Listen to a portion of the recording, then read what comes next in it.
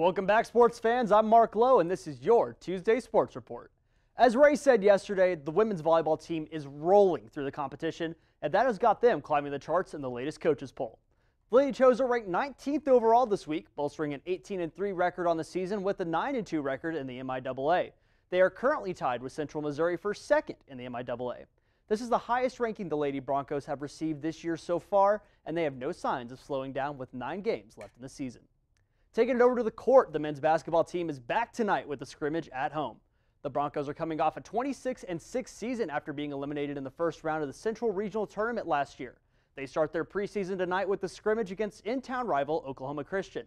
This is a great chance to see how the Bronchos will look after a good season last year, where they made it all the way to the Central Regional Tournament. The scrimmage starts tonight at 6 at the Hamilton Fieldhouse here in Edmond, and admission is free. And speaking of scrimmages, another UCO team is getting set to play tonight over on the softball diamond. The Lady Chos softball team will be getting some reps in tonight's matchup against Murray State College. The Lady Chos are coming off a phenomenal season, as per usual, and are looking to get training started off right. This matchup tonight starts at 5, which is pretty soon, so be sure to go get a first look at your 2024 softball team at the Jerry Pinkston Stadium right here in Edmond. Now over to the ice rink. The hockey team is on the road this week to the foothills of the Rockies for a matchup against the University of Colorado. The Bronchos are sitting in ninth place in the Division One men's hockey rankings with a perfect record of 6-0 with 18 points scored overall. The Buffs are ranked 31st overall in the rankings with a record of 6-2 and only 12 points scored.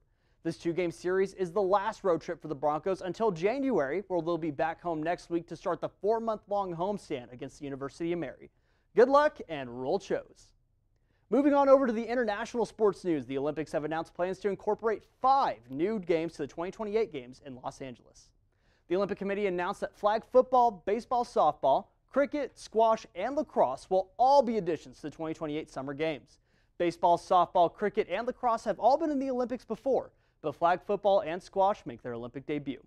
Personally, I'm excited to see these new additions, as well as some of the older sports such as lacrosse and baseball to make their returns.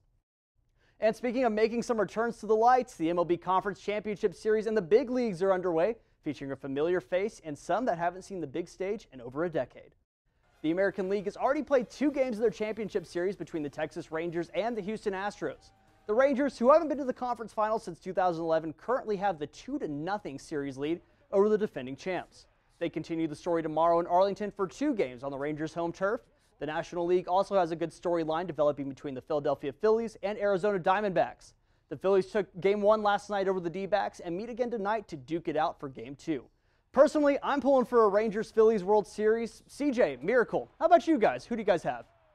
You know, I, I, agree with you, Mark. I think the World Series will end up being Phillies versus Rangers. Uh, I, I, hope that's what it's going to be.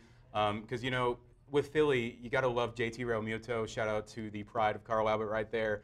But uh, it's just going to be a fun series, you know. Uh, the Rangers, they've been on a tear lately, 7 0 in the postseason. I feel like they have a really good chance to go on a World Series run this year. I actually love baseball. Don't know too much about what's going on. I just know whenever they hit a home run.